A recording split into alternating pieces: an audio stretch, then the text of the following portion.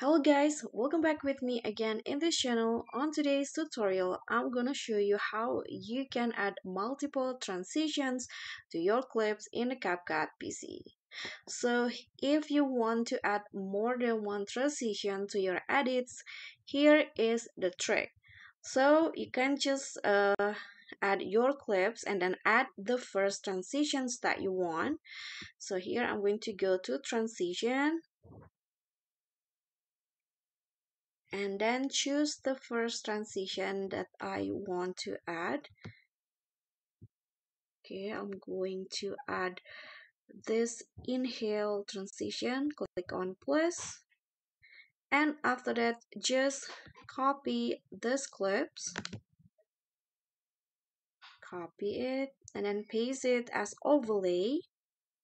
So put it on top put it the same like the first vid clip like this. And then here click on the transition in between the clips. I'm going to make it bigger first. So click on the transition and then change it into the second transition that you want. So I'm going to add this stretch to transition so you can see now I've already added two different transitions the first one is inhale.